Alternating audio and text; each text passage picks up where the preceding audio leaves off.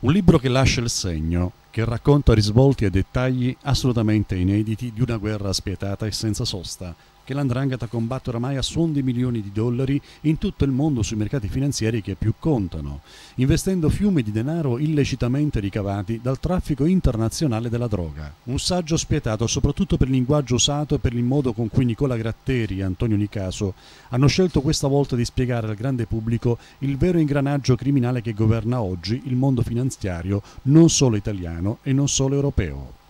Una sorta di romanzo criminale che parte dalla Calabria per arrivare poi nei paradisi fiscali più elitari e più misteriosi del mondo, dove i soldi dell'andrangheta vengono depositati e reinvestiti poi in operazioni questa volta perfettamente legali e comunque assolutamente inattaccabili sotto il profilo penale